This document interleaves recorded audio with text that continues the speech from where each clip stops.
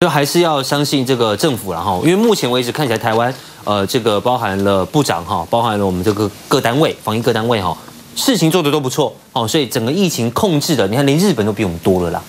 哦，这是台湾的这个感染离中国大陆这么近哈，而且往来那么频繁，感染的人数哈，确诊的病例数目前都还在这个嗯蛮稳定的控制当中啦，并没有好像之前有一些学者专家说啊可能会大规模爆发如何如何哈，这一点当然要给我们防疫的第一线战士们掌声一下。不过伟汉哥刚刚已经讲了太多太多的问题哈，在这个。呃，往生非常非常令人难过的这个白牌白牌车司机的身上，还有他弟弟的身上，也就引发下面我们要讨论的，那到底有没有可能这叫做社区感染，还是更可怕的叫做社区传播？啊，到底社区感染跟社区传播有什么不一样？来，我们先来看哈，这个部长啊，他在这个六点的时候，昨天在六点多的时候呢，告诉我们说，哎，有一个人哦，第一个。死亡病例出现了，然后说呢，难以找出感染源，可能是社区感染。嚯，这话说出来不得了，大家吓坏了。哇，社区感染，意思就是说我住在这个社区里面，如果跟他住在一起，我有可能就，呃，这个中了。哦，那如果我中了，我不晓得，我到别的社区串门子，哦，那我有可能也把病毒带到了其他社区，也就是群聚感染的一个概念了。哈，大家吓到了。但没有想到，四小时后来，四小时后，在十点钟的时候，我还可以说哈，嗯，这个部长呢又主动告诉记者说，哦不不不，这不是社区感染哈，这个零星个案而已啦，而且掌握了他所接触的三名台商，社区人传人的风险是很低的，大家不用太担心。先告诉我们可能是社区感染，再告诉我们说，哦，他可能是台商传染给他的，所以不是社区里面感染的，大家不用。太担心，好，然后呢，我们的这个工位专家哦，这个陈建副总统，他也发文哦，告诉大家说，呃，这个应该是社区感染，但还不是社区传播。好，来，陈建怎么说？他说，社区传播有四个征兆，好，确诊病例无法找到。传染的来源啦，本地感染的个案数已经超过境外移入的感染个案数，那已经出现了持续性的传播链，有广泛发生的群聚感染事件。目前，目前哈，这个死亡病例，我们在检视它的第一个征兆，也就是说，它的感染源、传染源到底是谁？到底从哪来的？那其他三个，好，这一二三二三四，然后都不存在，所以台湾并没有进入社区传播的状况。也就是说，陈建仁告诉你说，这可能是社区感染，但不是社区传播。陈时中一下告诉我们是社区感染，后来告诉我们不是社区感染。那这个承建人又告诉我们说，他可能是社区感染，但不是社区传播。哦，这样子的讯息哈有点多，我相信他们是想把话说清楚，但是好像越听越不清楚，所以这个呢，我们就要请专家来帮我们解答一下。署长，我相信是不用恐慌的啦，可是这个讲的我们这有点越听越模糊。伟汉讲公边加蛋哦，是对的啦。啊，边加了哈。这个有这样的感染是比我预期的，我也很早在别的节目也在这个节目讲了。这个一定会有破口，嗯，那比我预期的要晚很多，嗯，这表示这个大家的努力，我们做的成功，当然也是运气很好。等会我要讲讲我们的运气啊。那么这个呃，在这个三十一号，呃，公主号有那么多人到台湾啪啪走，嗯，我那时候以为就要破功了，哦，而现在居然运气这么好。哦，居然没有没有破功哈？那么这一点是很很幸运的。那么这个刚刚讲到底是社区感染、社区传播，其实如果找不到它的来源，那就是社区传播了，而社社区感染。社区感染，社区感染。那感染一个、两个，你把它控制得住，那就不算是这个社区的传播，也没有这个群聚啊。呃，我是比较悲观一点。嗯哼，那这个只要中国大陆这个疫情没有控制下来，全球控制不下来。嗯，所以我们全球都断绝来往。可是这个代价太大了，这个可能比这个有有些人得到这个病还要严重。那么中国控制不下来，全球控制不下来，我们就一定会有发生。但是呢，为什么不用那么这个恐惧呢？第一个，当然有人会得嘛，对不对？但它有没有比 H1 或 N1 或者 SARS 更严重呢？看起来好像没有。嗯哼。好，因为它上上次也讲过了嘛，它是一个非常非常成功的病毒。嗯。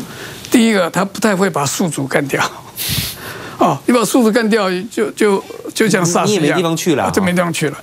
而且呢，他现在已经传到第四代了，他每一代呢就可能更会适应。我就不要让他发病，不要让他这个发生很严重的状况，那我就可以传染给更多的人，对不对？这是他成功的地方嘛。那么我要讲一下啊，呃，等有时间再谈呢，不要尽信 WHO，嗯，啊，参考就好了。呃，我们为什么说非常幸运呢？你看我们的保平号，嗯，对不对？保平号那个时候。就讲说，只要有一个确诊的病人，我们就要在船上隔离。嗯，这个是最大的错误。就跟这个钻石公主号一样。对啊，越隔离人数越多。对对对，我讲公主，我正在讲这个。这个 quarantine 这个字啊，是从十四世纪开始的，就是这个所谓的检疫。十四世纪的时候，威尼斯做生意，对不对？他这个呃海港。帮，那么只要船进来，怕这个把这个传染病啊都带进来，所以呢就要在外海停四十天。四十天什么意思啊？有病的就得病，有病得病的该死就死，这样讲不太好。然后呢，剩下来的四十天以后呢，一定是 OK 的，就可以上岸。四十天啊？四十天。那你想看那个时候大航海时代，郑和不算。一个船百百来人就很很大了，就很多了，对不对？可是我们现在遗物人呢？公主号是三千七百多七百人，嗯，那三千七百人呢？船员有多少人？一千人以上，一千好一千人以上。那你就看看美国的航空母舰，一个床位几个人睡啊？绝对不是一个人一个床位。嗯，我我讲的是服务的人员，一个床位要两个人睡，三个人睡，轮轮班的睡，而且是统舱。只有旅客才是可能一人一一间，或者是夫妻一间或三个人一间，对不对？所以才有可以在上面隔离，对不对？那所以呢，我还好，我说我们运气非常好，就这样。如果那个时候我们的公主号而，不是那个宝平号在台湾的时候，在基隆的时候。如果有一个是确诊病人的话，那我们那时候的想法就是世界卫生组织有十四世纪的想法，嗯，就是在船上隔离。对，这个就是这个公主号在日本的状况。是。那你想看这些这个服务的人员要到每一个房间去服务，要给他们送餐，要给他们清洁、放被、换一下床单等等等等，只要有一个这个旅客啊。或者是一个船员感染的话，那一定是全部感染。大家一起对。然后就是现在就变成日本已经三百五十五个人的那个公主号，所以我们今年是二十一世纪，怎么可以用十四世纪的想法呢？所以第一个就是应该要把他们啊尽量把他第一个有症状的送到岸上医院去，嗯，负压病房；没有症状的，但是有可能会。接触的，嗯，那就到岸上去，就像这个我们两百七十四个坐飞机回来的我们的同胞一样嘛，就是给他隔离，不一定要负压病房，只要大家不要有接触，好，那我观察，那么时间到了就回去。所以放到岸上，第一个一定要靠岸，为什么？靠岸你才有水、有电、有油，还有一个很重要的，可以很好的处理热色。嗯，还有一点很重要。就像我们那个 保平号啊，在船上，这个在绕来绕去，也不让它靠岸，对不对？每一个人就恐慌了啊，对，对不对？那恐慌，一个防疫恐慌是一个很重要的事情。像这一次，有一位我们的同胞朋友啊感染了，往生了，对不对？那造成恐慌，那恐慌就糟糕了，对不对？好，所以就不要恐慌。呃，因为他第一还还要讲一点哦，这个。我们的疫情指指挥中心呢，给我们做参考。第一个，疫情指挥中心做的，我都同意，因为我我不能再另外另外一套。嗯，好，比方说张善存是我的副座，我们的这位呃副总统是我的老弟，在台大公会所的，这我当所长的时候，他我们是同事啊，他们都很优秀啊，但是我也不要另另外讲什么，但是我要讲一点，你看一下这个统计啊，所有现在确诊的病人里面，第一个几乎没有孩童，有，我就什么万分之一，嗯，没有。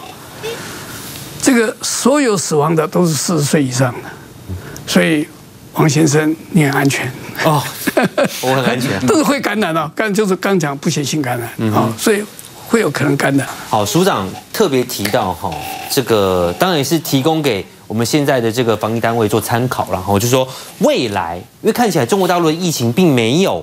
哦，消退。有人说啊，这几天好像这个增加的病例数啦，或出现的死亡数啦，有稍微趋缓一些，但很显然还不是个头啦，还不是个头，还不是个尾哈。所以未来不论是社区感染，或者是所谓的社区传播，传播都有可能会出现，所以应该要做好准备啊。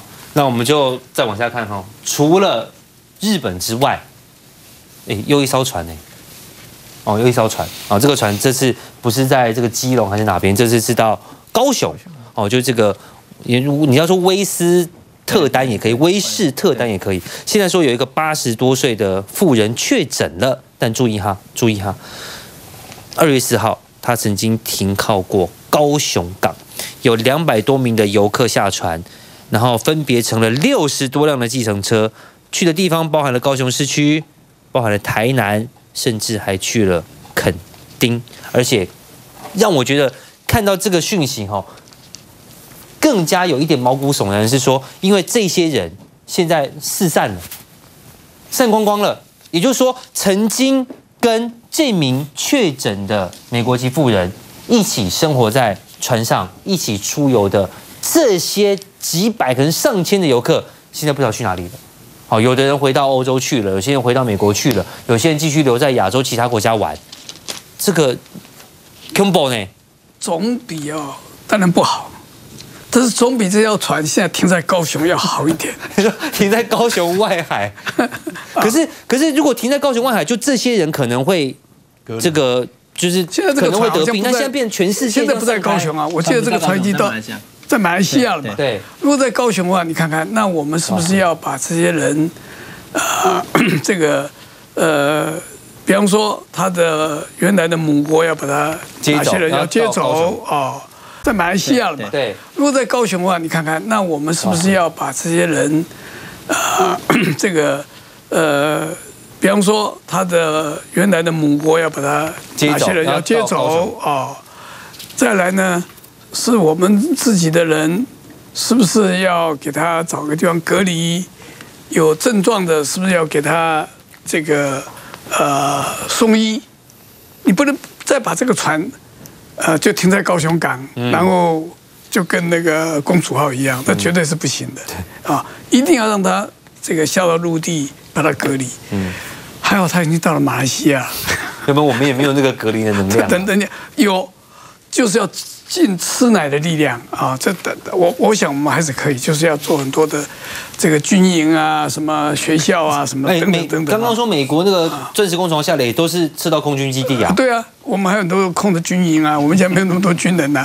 本来六十万，现在是这个二十万，还有四十万个位置。不过他当然会刚刚讲过了，什么时候会破口？对啊，什么时候会四散呢？全世界四散。所以上次公主号。那么一千多人，快两千人到台湾的北部好多地方，甚至也有人到中南部的，到最后居然没有一个破口，这真是哎，四天过，有时候有时候天佑台湾呢，我觉得我们台好几次天佑台湾呢。